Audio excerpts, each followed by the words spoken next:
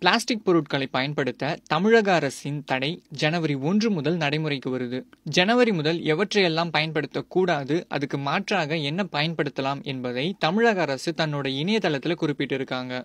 அதன்படி உணவு வைக்க பிளாஸ்டிக் ஷீட் பயன்படுத்தக்கூடாது. அதற்கு பதிலாக வாழை இலை அல்லது பாக்கு மர தட்டுகளை பயன்படுத்தலாம். டைனிங் டேபிளில் பயன்படுத்தும் பிளாஸ்டிக் ஷீட்டுகளை உபயோகிக்கக்கூடாது. அதற்கு பதிலாக பேப்பர் ஷீட்டுகளை பயன்படுத்தலாம். பிளாஸ்டிக் அல்லது தர்மாகோலால் செய்யப்பட்ட தட்டுக்களுக்கு பதிலாக அலுமினியம் ஃபாயில் பயன்படுத்தலாம். பிளாஸ்டிக் பூசப்பட்ட பேப்பர் பிளேட்டுகளை பயன்படுத்தக்கூடாது. அதற்கு பதிலாக தைய இலைகளை பயன்படுத்தலாம். பிளாஸ்டிக் பூசப்பட்ட paper cup plastic tea cup plastic தண்ணீர் tumbler thermocol cup water packet இவற்றை பயன்படுத்தக்கூடாது. இதற்கு பதிலாக கண்ணாடி அல்லது மெட்டல் டம்ளர்களை பயன்படுத்தலாம்.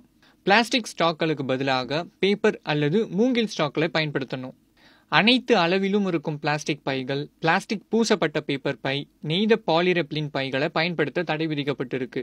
அதற்கு பதிலாக பேப்பர் பை துணிப்பை ஜூட் பைகளை பயன்படுத்தலாம். பிளாஸ்டிக் ஸ்பூன்களுக்கு பதிலாக மர ஸ்பூன்களை தான் பயன்படுத்தணும். பிளாஸ்டிக் கொடிகளை பயன்படுத்துறதை தவிர்த்து துணி கொடிகளை பயன்படுத்தணும்.